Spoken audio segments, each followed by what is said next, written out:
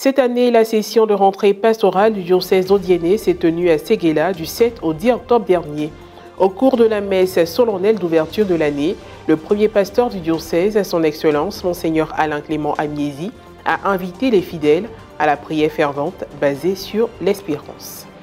Et puis nous ferons un focus sur la période de sensibilisation au dépistage des cancers du sein et du col de l'utérus chez les femmes, dénommée Octobre Rose. Dans cette édition, des interventions de spécialistes de la santé et celles de quelques femmes vous seront présentées. Madame, Monsieur, merci de nous suivre et soyez les bienvenus. La paroisse Notre-Dame de l'Assomption de Séguéla, appartenant au diocèse d'Odienné, a abrité le jeudi 10 octobre dernier la messe de rentrée pastorale diocésaine. Elle a été présidée par son Excellence, Monseigneur Alain Clément Amiesi, en présence des agents pastoraux et des fidèles laïcs.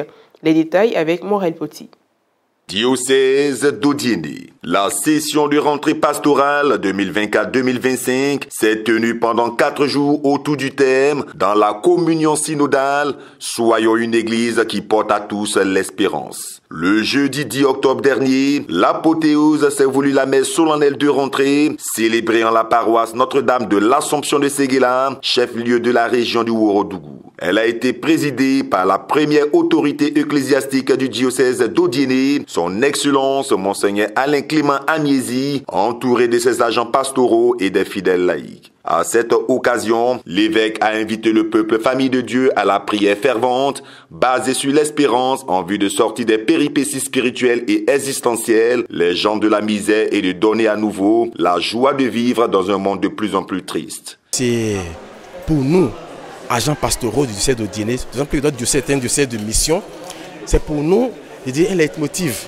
C'est pour nous eh, une invitation, une exhortation à redoubler d'efforts dans ce champ pastoral-là. Le thème pastoral, vraiment, c'est un thème qui touche à tout un chacun de nous et que tous nous allons lutter pour donner l'espérance à nous-mêmes et autour de nous. Au cours de cette année, nos chrétiens, et avec euh, à leur tête leur pasteur, porterons ce message d'espérance à tout le monde pour que l'espérance peut-être qui est en train de s'éteindre puisse à nouveau être animée et que la joie revienne dans ce monde qui devient de plus en plus triste.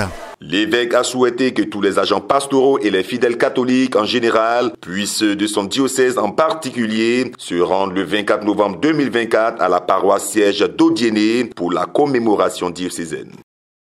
Parlons santé à présent. Si sur le plan religieux, le mois d'octobre est dédié à la Vierge Marie à travers la prière du rosaire, sur le plan social et sanitaire, il est consacré à la sensibilisation des femmes à se faire dépister des cancers du sein et du col de l'utérus, d'où la dénomination Octobre Rose. Suivez ce papier image commenté par Guy Yao pour plus d'informations. Octobre Rose en Côte d'Ivoire, du mardi 1er au jeudi 31 octobre 2024. Un mois plein consacré à des campagnes de communication et de sensibilisation des femmes au dépistage des deux cancers les plus fréquents chez elles, celui du sein et celui du col de l'utérus. Que savent les concernés de ces pathologies? Je sais juste que c'est un virus qui attaque l'utérus, euh, parce que nous avons beaucoup sensibilisé quand on était à l'école. Ensuite, euh, concernant le cancer de sein, je sais que c'est un accroissement je crois, anormal des cellules mammaires qui se transforment en tumeurs et qui se propagent et voilà, ça crée toute autre chose. Non, je ne me suis pas encore euh, dépistée. Pourquoi euh, je, je, pense que c'était une petite négligence de ma part. J'ai déjà entendu parler du cancer du sein et du cancer du col de l'utérus. Pendant que j'étais au collège, on nous a fait des sensibilisations. Et à la fin de cela, il y a même une vaccination qui a été faite. Concernant le cancer du sein, c'est dehors de ces dernières années, là, il y a beaucoup de sensibilisations qui se font. Moi, j'ai eu à me faire dépister. Le cancer du sein est une maladie euh, causée par l'écoulement au niveau du sein ou par la formation d'une boule au niveau du sein. On peut guérir de cette maladie si et seulement s'ils ne sont pas à un stade un peu trop avancé. Pour le cancer du col de l'utérus, je pourrais dire que c'est un trop plein d'infections liées au papillomavirus humain qui cause cela. Pour ma part, je n'ai pas pu me faire dépister par manque de temps. Il est caractérisé par la multiplication anarchique des cellules mammaires et c'est la première cause de cancer chez la femme. J'ai une fois réalisé une mammographie, mais je ne le fais pas je ne le fais pas chaque an, chaque année. Et je pense que le mois d'octobre est un mois pour, euh, pour tirer la sonnette d'alarme et de rappeler à chaque femme qu'il est important quand même de réaliser une mammographie. Si cette poignée de femmes a une idée de l'existence de ces cancers, le constat est clair. Bien qu'étant d'une grande importance, le dépistage est négligé. En Côte d'Ivoire, le premier cancer qui affecte les femmes est celui du sein. Des précisions avec Dr Korotoum Traoré, cancérologue au CHU de Trècheville. Le cancer du sein est le cancer le plus fréquent des cancers. Et il faut dire aussi que ce cancer ne se retrouve pas uniquement chez la femme. Il y a au moins 0,5 à 1% des hommes qui sont à même de développer ce cancer. Et avant, l'âge moyen de survenue de ce cancer était à 44 ans, on va dire.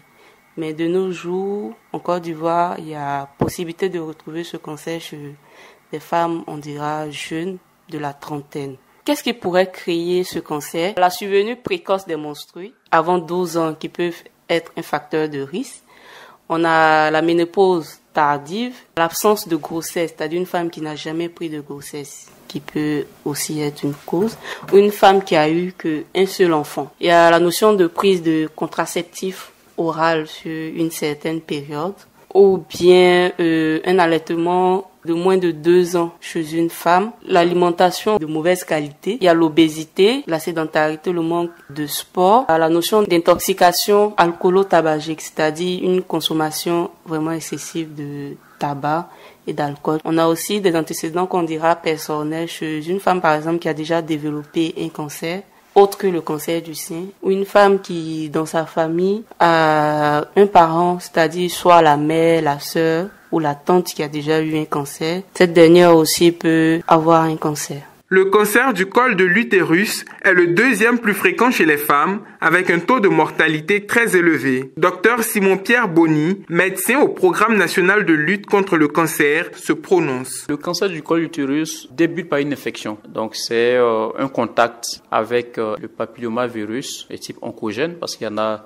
euh, près de 200 sous-types et il y a autour de 14 sous-types qui vont être à l'origine du cancer du col de l'utérus. Donc tout part d'un contact avec un virus. Ce contact peut se faire euh, par voie sexuelle, c'est d'ailleurs le principal euh, mode de contamination. Et à, l'issue donc de ce contact, en général, ce qui se passe, c'est que ce virus est éliminé par l'organisme sans l'action euh, d'un homme, d'un médecin ou d'un agent de santé. Près de 5 à 10% de ces infections vont persister et passer par plusieurs phases successives de lésions, dites lésions précancéreuses. Et c'est au bout donc de 10 à 15 voire 20 ans, en l'absence de dépistage, que le cancer du col utérus va donc euh, survenir. Le dépistage doit se faire en milieu hospitalier.